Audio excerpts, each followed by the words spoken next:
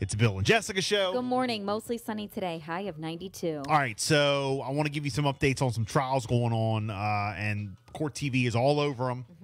All I right, need a scoop. first up, it's the Robert Durst trial. And that's like the main trial they've been covering. I didn't know too much about it until the other day. Here goes uh, Vinnie Politan from Court TV, kind of giving you a background. It's about the old guy who ended up killing his wife. Well, he's on trial for that. Okay. As well as the friend who helped cover it up, who ended up knowing too much, who he was paying And then because she knew too disappeared. much. But the trial is, I mean, it's almost like a freak show because the guy's up there on the stand. He's old, like old, old. You know, um, I, I don't know what his health is, but he's like cracking old jokes. He he is old. yeah, and he's cra- up, up there like kind of being a smartass to the he was. prosecutor. Yeah, I I mean it's crazy. It's crazy. So again, here goes uh Vinnie Politan giving you kind of like a little background, and then uh we hear some audio from him up on the stand. And we have a lot of things to get to, but we're going to begin with the trial that the nation is watching right now. We're talking about the trial of Robert Durst, the Jinx murder trial, the man who was accused of murdering his friend Susan Berman, but also implicated in two other killings. And it's all part of this case that has taken day after day, week after week, and right now, Robert Durst on cross examination. And you know how that's been going. It is a it is a chess match, a game of cat and mouse between the prosecutor and the accused killer. These are the two people who know this case better than anyone, right? Robert Durst knows knows the case. This is his life we're talking about. And then you've got John Lewin, the prosecutor, who has studied this case and, and, and really made it, it seems like his life's work put into this trial. It's layered, it's complicated, but this cross examination, unlike any we have seen in a long time here on your front row seat to justice. Uh, today, one of the issues that came up, and remember, you have to look at the relationship between everyone here. Kathy Durst, Robert Durst's wife, goes missing in 1982. The allegation of the prosecutor is, is that Robert Durst enlists the help of his friend Susan Berman to help cover up this, this murder and have her make a phone call, and she knows everything. And then when the new prosecutor comes on the case, uh, uh, Jeanine Pirro, yeah, that Jeanine Pirro uh, is on the case as the Westchester DA reinvestigating the case. The heat is on, and, and prosecutors believe it's, a, it's at that point that Robert Durst murders Susan Berman because she knows too much. Now, another part of their relationship took center stage today. As you know, Robert Durst is loaded, tons of money. Not money that he earned, no, no. This is money that he inherited, uh, really from his grandfather, who, who made the money, then passed the business on to his father. And then Robert Durst is who he is, but still worth tens of millions of dollars. So the issue of money came up. And, and why is Robert Durst giving hundreds of thousands of dollars to Susan Berman? Yeah, before she goes missing, and he's accused of murdering her, he's paying her, paying her, paying her, Giving her paying her, paying her, paying her. Yeah. So, and you know, people were saying, "Oh, that that's to get her to shut up and not say nothing." Right. you know, and then he ends up, well, allegedly, it's all alleged, but she ends up disappearing, ends up murdered. Let's take a look at the back and forth. Again, this is the cross examination of the accused killer. And this back and forth is crazy.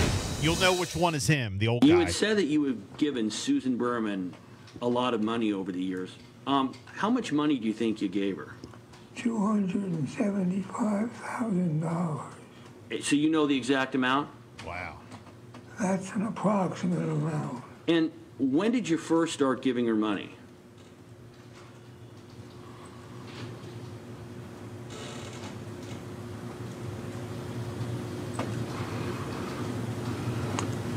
When she left New York and moved back and moved to Los Angeles, And you agree that was after your wife Kathy disappeared, correct?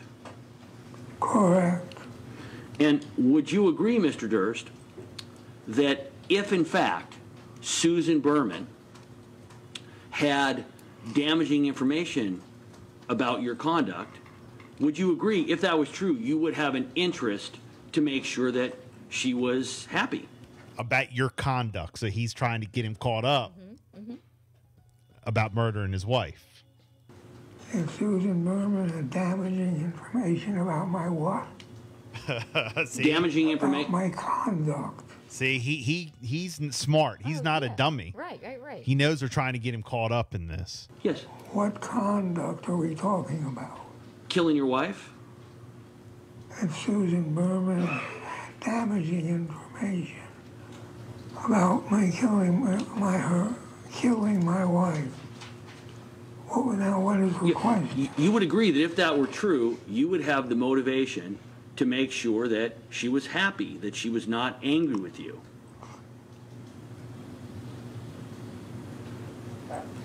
Yes. Okay. So he said yes, but the question was if she had damaging information. It doesn't necessarily mean she did Right, have damaging right. information. You know, Gosh. that's how you got to look at these trials. But just wanted to give you a little update on that. Very interesting. There's a lot to this. Uh, again, the Robert Durst trial continues. Uh, his marathon testimony and his own is, is representing himself, his own defense. So He's 78. seven. That's how old he is. Okay, interesting, interesting. Also, uh, lawyers in the Alex uh, Kueng. I'm not sure how if I'm pronouncing that last name right. Uh, have filed a motion requesting an exclusion of cameras in the courtroom. Okay. All right. Uh, former officers Kueng, Lane, and Thao are scheduled to stand trial for the death of George Floyd in March of 2022. Not Derek Chauvin. Right. This is uh, the other officers who were there. But they have filed a motion to not have cameras in the courtroom, the lawyers. regarding the trial, the second trial involving the death of George Floyd. J. Alexander Kueng, one of the three officers set to go on trial, his attorneys have filed a motion today to exclude audio and video coverage and recording of the upcoming trial, the trial against Kueng, Thomas Lane, and Tou Thao, scheduled to start in March of 2022. As you know, cameras were in for the first one uh, of Derek Chauvin, but now uh, former officer J. Alexander Kueng and his attorneys have filed a motion to exclude cameras from the courtroom in the second trial coming up this March. This is from the court filing. Due to the trial of co-defendant Chauvin being televised, Mr. Kueng's right to present a defense in his upcoming trial has been crushed. The incredible access of the public to the Chauvin proceedings has resulted in fact in expert witnesses declining to testify for the defense. One defense witness being harassed and another defense witness being subject to professional slander. Counsel has been informed by fact witnesses that they will not cooperate or testify because the proceedings are being televised. All right. Hmm. My guess is is that the media will still report on everything that's happening inside that courtroom, whether there are cameras or not, and will name all the witnesses. But we shall see. We'll keep an eye on that for you. Yeah, of course the media is going to do that. Right. But he's saying that you're you're messing with the whole case because people don't want to testify. They don't want to talk. They don't want to, you know, get involved because the whole thing's going to be cameras Right. Do or even audio. He don't even want audio recordings. Do you think that that will be granted? I don't know. You don't think so? I don't know. I mean, I know of other trials and I've heard of other people who have tried that, but the judge did not grant it. Yeah, I don't think they're going to grant it. So, I mean, there's been other cases out there just as big as this one. Yeah. And it's been televised. So, Uh, also, uh, Josh Duggar. We've talked yeah, about what's him. going on with him? Apparently, attorneys for the former reality TV star Josh Duggar filed motions to seek to dismiss child pornography charges against him. Uh, the motion asked for the dismissal of two charges and to suppress evidence in the case, including all statements Duggar made to investigators, the Northwest Arkansas Democrat Gazette reported. The documents filed Friday allege prosecutors failed to preserve potentially um, evidence and that two acting secretaries of the U.S. Department of Homeland Security at the time of Duggar investigation weren't properly appointed. The motions to suppress evidence say investigators took Duggar's cell phone before he could call his lawyer and question him without his lawyer present. Duggar, who appeared on TLC's 19 Kids and Counting, was indicted in April on two counts of downloading and possessing child pornography, some of which prosecutors uh, have depicted the sexual abuse of toddlers. He has pleaded not guilty.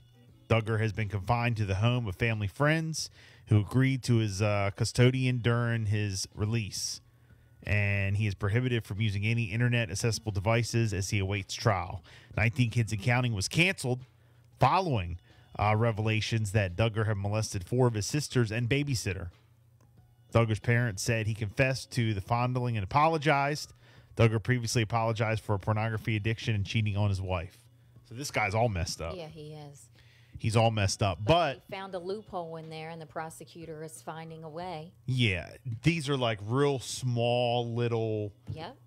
little flubs. But It's like sometimes it works. it's like when you get a ticket and they spell your name wrong or something Sometimes dumb. it works, or the address, or just yeah, something. this is There's- no bombshell here that like he's Right. innocent. This is like something dumb where they find that they, you know, put a wrong address or Yep. spell your name proper wrong or procedure was not taken. yeah. Come on, I don't think that works as much as it used to. I mean, from what I've seen, I I don't know. I, just don't think that works as much as it used is. You know, Oh, what we were just talking about a case though, and there was a loophole, and the charges were dropped. It was recently. I Yes. just did it. What was that? Yes. Um. Yeah. What the hell was the that? heck was it was a celebrity, right? Yes, yes, and I was doing it with the news, and Well, you know that it was something like the this. lawyer. I mean, the lawyer just had his case dropped. Which one? The Which lawyer who represented Stormy Daniels Oh, in New York okay. uh, against Donald Trump. All right. But that wasn't the one. You were you were no, doing it something, was else. something else. So Charges were dropped, but yeah, if you don't follow, you know, and now they're saying that they took his cell phone. Yeah. He was not um, able to contact his lawyer. Little things like that. Uh, the appointed secretaries, like if certain things have to happen, people get out of stuff. Okay. Really do. When you have a good lawyer who knows the law and knows every single step, telling you. God, what was that story? If you guys remember Jessica, me. It won't if, surprise me if something goes down with this. if you guys remember Jessica talking about it, 302-858-5117. was, it was it a radio personality? Somebody? Something Why dumb. do I feel like it was somebody that, like, not that we know, but like Probably somebody we know. one, of, one of our, like, you know, celebrity friends. Yeah, yeah. uh, all right, we're gonna take a break. We're gonna come back. We got a 47 ABC update on the way, and coming up, we have uh, another story about Allen West, candidate for governor of Texas. His wife got a DUI, Okay. but they say that it was all bogus. Allen West, who's running for governor of Texas, is saying that it's all bogus. She shouldn't have gotten the DUI. She's got a receipt to prove where she was, what was going on, and it was all uh -huh. all a mishap. And he's demanding an apology. And he says, if you don't apologize, if I win this, I'm going to make your life a living Right. hell. So Wow. that's another good one. This so is good. we'll talk about that on the way. It's 728. Time now for Power 1017